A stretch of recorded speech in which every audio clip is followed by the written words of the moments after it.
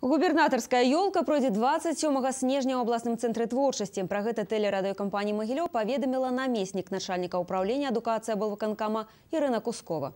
Усім запрошаным на свята дзецям уручаць навагоднія салодкія падарункі. Усяго амаль 700 штук. Таксама традыцыйныя салодкія падарункі да навагодніх святаў атрымаюць усе дашкаляты вобласці і вучні з першага па чацвёрты класы. Без увагі не застануцца дзеці-сіроты, малыя, якія засталіся без апекі бацькоў, дзеці-інваліды, тыя, хто знаходзіцца ў сацыяльных прытулках, цэнтрах карэкцыйнага навучання і дамах дзіцяці, дзеці са шматдзетных маламаёмных сем'яў.